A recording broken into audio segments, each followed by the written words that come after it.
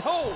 And Undertaker quickly going for it. Hell's Gate, the most devastating hold in all of WWE.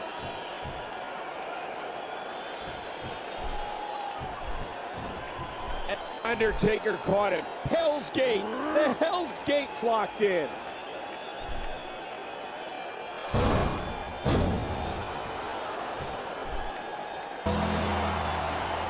Here is your winner, What a nasty hold that was.